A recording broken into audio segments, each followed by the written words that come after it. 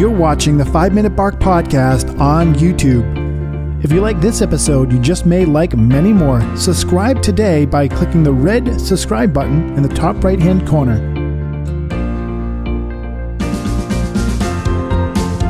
Um, but but that thought. So went down that road, and at one point I remember I, my mom called me, and I, we were talking on the phone, and she goes, "How's your, how you doing? How's your business going?" I'm like, "Oh, mom, we crushed our numbers this week. It was huge. I made more money this week than I've ever made in the last six months. It was awesome." Blah blah blah. And she says, "You know what? I'm really disappointed in you." I was like, "Disappointed? I'm killing it."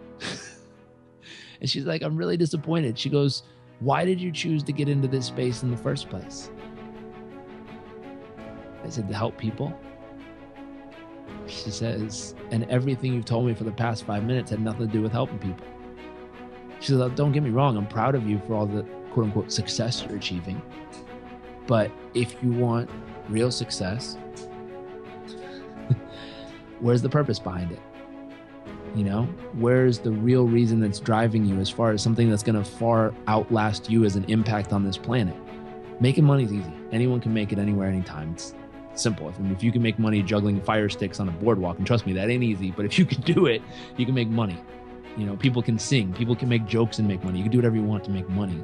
But if the profession you chose to get into is a helping profession, the goal should be how many people you're helping and how consistently you're helping. And like you said, one one person a day. If I can get to one a day, I'm winning this game. And and coming back for all the people who choose to be in a helping profession, hopefully my mom can throw a reminder out to you and you know she sat down with you and asked you how's your business going? Hopefully the conversation would be about the difference you're making in the people's lives around you versus how much you're trying to extract from them. Um, there's nothing wrong with making money. We make a lot of money. Uh, at the same time the the goal really truly is what what difference can you make and how focused you're on on that. I, I know sean who's on earlier one of your guests i know him personally. The dude's passionate about making a difference in people's lives um, from I, I, listened to a couple episodes before I hopped on here. I can hear it in your voice and, and how much energy and time you put in. You're passionate about making that difference.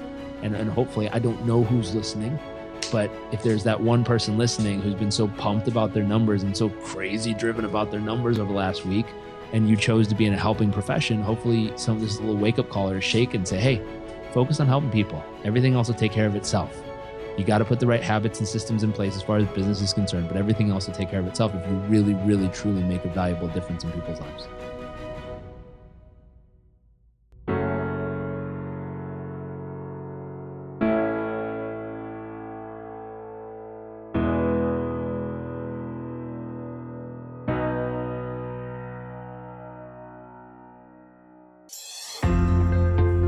You're watching the 5 Minute Bark Podcast on YouTube.